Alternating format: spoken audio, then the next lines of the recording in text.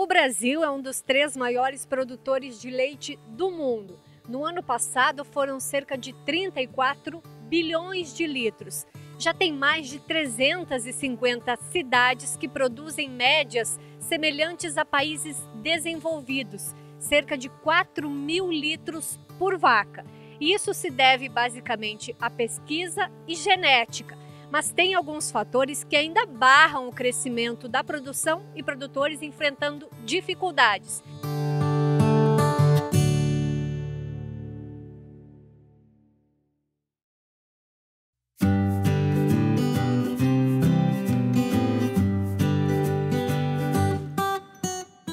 O leite e derivados estão todos os dias na nossa mesa. Sul e Sudeste respondem por 34% da produção. O consumo do brasileiro vem aumentando em 37 litros. Mas por que a cadeia leiteira não engrena? Na exportação, por exemplo, os produtos são basicamente queijo, manteiga e leite em pó para a China. Pesquisas da Embrapa apontam alguns fatores: fraudes, visão de curto prazo, falta de informação, falta de barreiras a produtos de fora e frágil interlocução com o governo. As cooperativas levando tecnologia para o produtor e levando tecnologia 4.0.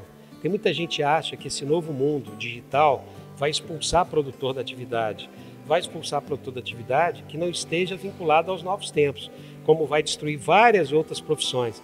Mas o produtor que tiver vinculado a essas novas tecnologias, porque todas elas vêm para aumentar a eficiência na gestão e para reduzir custos, e elas não são caras, eu tenho certeza que eles vão continuar na atividade com um detalhe.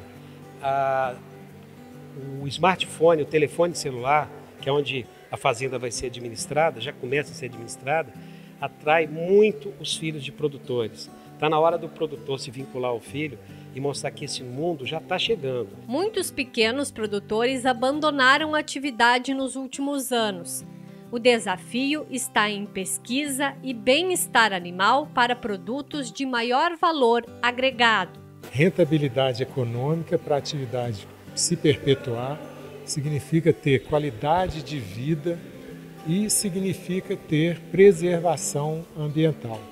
Então, juntando isso tudo, o produtor consegue entregar um produto que o consumidor vai pagar por ele, sabendo que há preservação do meio ambiente, sabendo que o produtor tem uma qualidade de vida satisfatória e sabendo que o animal também está sendo mantido numa condição de conforto e bem-estar. Na questão hoje das pequenas propriedades, eu vejo na questão de que eh, a alternativa dela é se associar aos vizinhos, né, para que ele possa ter uma produção uh, maior, né, que o, o, grupo possa vender esse leite uh, para uma laticínios, né, uh, para que efetivamente eles consigam ganhar em escala, né, aumente também a sua produção, para que efetivamente nós possamos esse, ó, diminuir o impacto da, da saída desses produtores da atividade. A tendência é um consumidor que cobra mais e isso passa pela estrutura de produção, como se adequar às normativas 76 e 77 do mapa que prezam higiene. Aliado a isso, controle de doenças como brucelose ainda são problemas. Essa é a pecuária de precisão. Cada vez mais animais, mais produção, que exigirá mais gestão.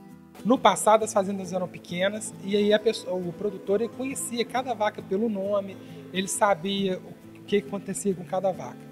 As fazendas foram crescendo, aumentaram o número de animais e aí o produtor ele deixa de conhecer é, a vaca individualmente. E aí ele não consegue atender ela porque ele, ele começa a atender as vacas por lotes.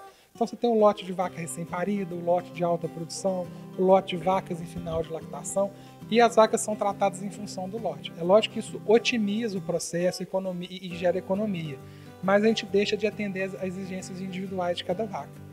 Então hoje a gente começa a usar sensores e outros equipamentos que permitem a geração de dados individuais de cada animal e em função dos dados individuais eu começo a dar o tratamento para cada vaca em função do que ela precisa. E a vaca do futuro já existe? A vaca do futuro vai ser uma vaca relativamente pequena, de baixa estatura, né? uma vaca que vai produzir leite em grandes quantidades a pasto, né? com uh, baixo impacto no, no, na natureza, principalmente com redução uh, de emissão de gases de efeito estufa. Né? Um animal que vai estar totalmente apto ao uso de tecnologias de modo intenso. Né? E vai ser um animal que vai ser uh, ecologicamente correto, né? um animal que vai sofrer um programa de melhoramento de moço intenso, mas também oferecer à sociedade um alimento de melhor qualidade e de maior quantidade.